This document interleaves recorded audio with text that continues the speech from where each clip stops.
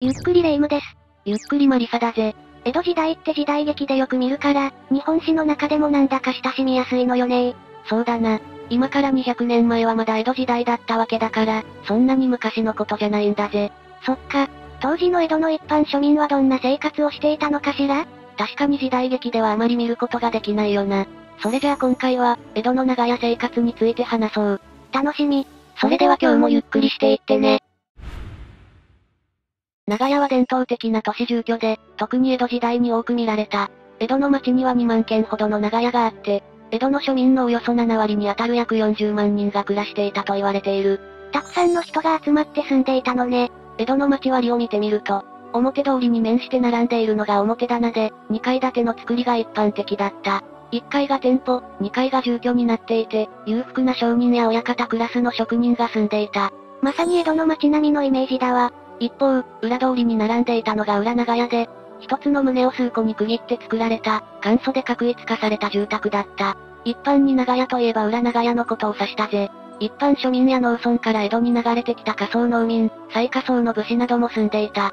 ほう、商人だけじゃなかったのね。裏長屋は、表通りとの境に設けられた長屋木戸という入り口から路地を進んだ場所にあった。裏長屋に行くための入り口があったのね。路地の幅は人がやっとすれ違うことができる狭さで、路地の真ん中には排水溝が通り、ドブ板が敷かれていた。また建物の軒で日差しが遮られていたために、常に薄暗かったというぜ。華やかなイメージの表通りとは真逆の雰囲気ね。裏長屋の周辺には、トイレ、ゴミ捨て場、物干し場、井戸が設けられていて、住人たちはこれらの生活空間を共同で利用していたんだ。住人同士が家族みたいなものだったのね。裏長屋には2種類あったぜ。一つは胸割り長屋といって、屋根の胸の部分から壁で部屋を仕切り、上から見ると、背中合わせの部屋が横に数個並んでいる作りになっていた。部屋の三方が壁で、風通しが悪く光も玄関の一方向からしか入らなかった。江戸の長屋といえば、この胸割り長屋のイメージよね。部屋の大きさは尺二間といって、間口が尺2.7メートル、奥行きが二間3.6メートルで、現代でいうとワンルームのような、長方形の間取りが基本になっていた。部屋の中は、土間兼台所が1畳半、今兼寝室が4畳半しかなかったぜ。全体で6畳しかなかったってこと？これは狭いわねもう一つは割り長屋といって、一つの棟が横に数個区切られた長屋だ。平均的な部屋の大きさは、間口と奥行きがともに二間3.6メートルの正方形で、今の大きさは6畳あり、はしごをかけて登る物置のような中2階もついていた。家族がいるなら、こっちの方が生活しやすそう。部屋の両側は壁で隔てられていたが、玄関と部屋の突き当たりに腰高障子があって、背中合わせの胸割り長屋と違い裏からも出入りできる作りになっていた。そのため風通しも良く、比較的日光も取り入れやすかった。他にも、4畳半の居間が2つあったり、2階があったりと広い間取りの部屋もあったそうだ。同じ長屋でもこんなに違ったのね。胸割り長屋の家賃は月300門から500門、約9000円から1万5000円が相場になっていた。一方、割長屋の家賃は月800門から1000門、約2万4000円から3万円だったぜ。また現代のように、訳あり物件の場合は家賃が安くなったそうだぜ。なるほど、それはこの時代も同じなのね。どちらの長屋も玄関を入ると土間があり、その先の一段高いところに今があった。土間には煮炊きをするかまどと流し場、水を汲み置きしておく水病が置かれていて、壁の上部には、調理をするときに煙を排出する天窓もあった。狭いけど機能的な作りになっているのね。今には畳を敷くのが一般的だったが、稼ぎが少ない人や独身者は、むしろを敷いて暮らしていたという。また、壁が薄かったから隣人の生活音や会話が丸聞こえだったんだぜ。壁越しに隣人と会話するなんてこともあった。長屋生活にプライバシーなんてものは存在しないわけね。ちなみに、玄関の腰高障子には住人の名前や職業が大きく書かれ、誰が住んでいるのか一目でわかるようになっていたぜ。現代人の感覚からすると色々と大胆でびっくりしちゃうわ。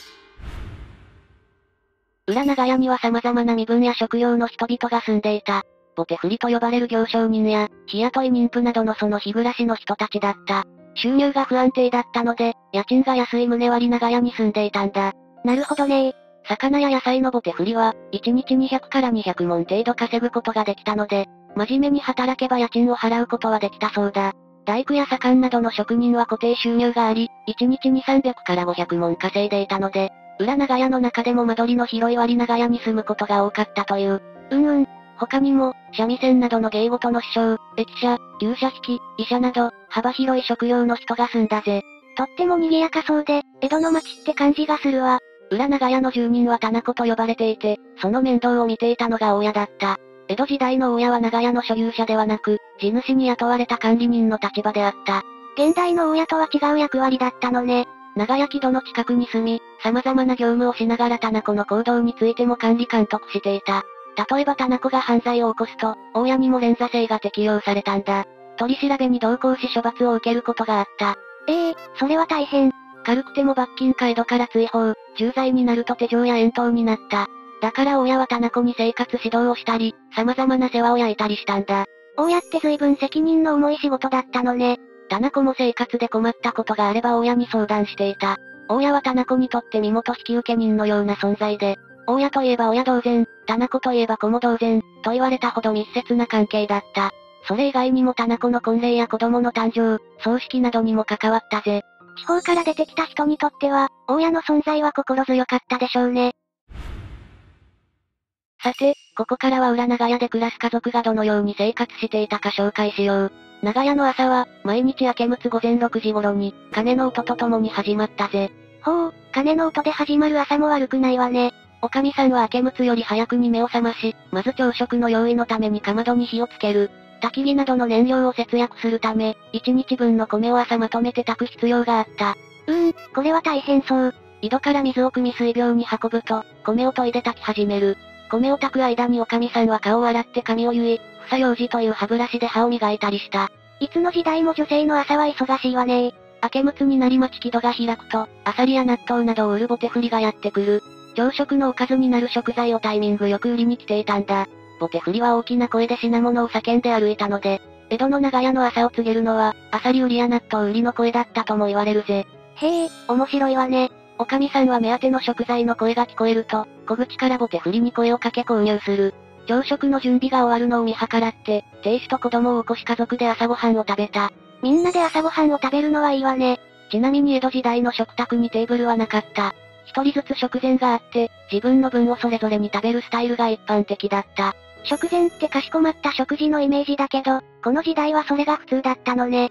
朝食が終わるとおかみさんは米をおひつに入れて、昼食と夕食の分として保管する。寺子屋に通う子供や、外で仕事をする者は時間に合わせて家を出ていく。裏長屋にいながら仕事をする職人などは、部屋の畳を片付けて工房にした。そういう仕事もあったのね。例えばかさばりや旅職人、刀鍛冶、桶職人などの移植と呼ばれた職人たちだぜ。さて、亭主と子供を送り出すと、おかみさんは洗濯や針仕事をする。全部が手作業だから大変そう。共同の井戸の近くでたらいに水を張り、米の研ぎ汁やアクなどを洗剤にして、手もみや足踏みをしている絵を洗った。井戸端には角長屋のおかみさんが集まるので、自然と世間話や噂話で盛り上がった。これが井戸端会議ってやつね。また、裏長屋は日当たりが悪いので、洗濯物は共有の物干し場に干していた。このように朝から様々な生活音に囲まれて、慌ただしく時間が過ぎていった。職人たちの仕事の作業音、おかみさんたちの会話、小さな子供たちが遊ぶ声、芸事の師匠がいれば、三味線や琴などの音色も響いていた。とっても賑やかな空間だったことが想像できるわね。夕方になって亭主が帰ってくると、家族で湯屋と呼ばれる銭湯へ出かけた。裏長屋では、焚き火台が高いことはもちろん、何より火事になる危険が高かったので、お風呂がなかった。江戸の町は火事が多く、失火で罪に問われることがあったんだ。だから長屋の住人たちは、町で営業していた湯屋に毎日通っていた。毎日銭湯に行くのもお金がかかりそうよね。湯屋の料金は大人が6問180円、子供が4問120円と手頃だったので、貧しい庶民でも通うことができたぜ。なるほどね湯屋から帰ると家族で夕食の時間だ。夕食は冷や飯をお茶漬けにして、漬物と一緒に食べるのが一般的だった。冷やご飯を美味しく食べるにはお茶漬けがいいけど、私はちょっと物足りないかも。まあ、お世辞にも十分とは言えない食事だよな。夜になり暗くなると、今に布団を敷いて寝る準備を始める。長屋の住人たちは、日が暮れたらできるだけ早く寝るようにしていた。電気がないから、夜は不便だったでしょうね。アンドンなどの照明器具はあったものの、主な燃料となる菜種油は高価だったので、貧しい庶民は価格の安い魚油を使っていた。へえ。ちなみに菜種油は1号40問1200円、魚油は1号20問600円で、1号の油でだいたい2、3日使うことができた。魚油でも毎日使ったらかなりの金額になるわね。アンドンは、近寄ってやっと文字が読めるくらいのぼんやりとした明るさしかなく、しかも魚油は燃やすと悪臭を放つため、長時間使用することはなかった。そのため、午後8時から9時頃には就寝するようにしていたという。早寝には節約の意味もあったわけね。現代人も見習った方がいいかもね。裏長屋の居住スペースは、4畳半から6畳ほどの広さしかなかった。だから狭い空間で快適に生活するために、住人たちは様々な工夫をしていたぜ。どんな工夫かしら？生活スペースを最大限に確保するため、生活用品はできるだけ壁にかけていた。着物上門掛けや風呂敷に包んでかけたり、ノコギリやナタなどの仕事道具もかけていた。食器類は土間のかまどの上に棚を設けて収納したぜ。へえ、壁掛け収納を多用していたのね。また押し入れがなかったので、枕屏風という簡易的なついたてで布団などを隠していた。枕屏風は他にも、着替える時の目隠しとして使ったり、夜寝る時に枕元に置いて、隙間風を遮るために使ったりしていた。一つで何通りにも使える便利アイテムね。それから、寒い季節に欠かせなかったものといえば火鉢だった。火鉢は暖を取るために使う道具だが、五徳を置いて夜間で湯を沸かしたり、他にも簡単な調理をするときに活用できた。また、現代のように簡単に火をつけることができなかったので、火鉢の中に火を残しておくこともあった。そっか、ライターもコンロもないものね。長火鉢は引き出しがついた長方形の火鉢で、猫板の部分で食事をしたり物書きができたりと、狭い空間で生活するための必需品だった。便利な多機能ツールだわ。さらに暑い季節には、玄関を開けて部屋に風を取り入れていたので、蚊帳が必須だった。寝る時に布団の周りに蚊帳を吊り下げ、蚊帳小さな虫の侵入を防いでいたぜ。蚊帳の中ってちょっと入ってみたいかも。ところで、この蚊帳などのように使う機会が限られているものは、損料屋というレンタル業者から借りる人が多かった。そんな業者があったのね、知らなかったわ。損料屋は、貸した品物が消耗した代償を料金として受け取っていた。冠婚葬祭の衣装、布団、家財道具、こたつなど、様々なものを扱っていたんだ。また裏長屋には独身男性が多かったこともあって、ふんどしのレンタルもしていたんだぜ。え、ふんどしを？この時代は下着をつける習慣がなかったが、祭りの時など、着物の裾を託し上げる格好をする時にふんどしをつけていたんだ。しかも一般的な6尺ふんどしは250文7500円もする高級品なんだぜ。高、さすがにその金額は出せないわねまた火事が頻繁に起きたので、物をあまり持たない生活が一般的だった。長屋の住人たちは損料屋をうまく利用して、必要最小限のもので生活していたんだ。なるほど、長屋の住人は元祖ミニマリストだったわけね。さて、江戸時代の長屋生活については以上だぜ。現代とは生活習慣や形式が全然違ってとっても面白いわね。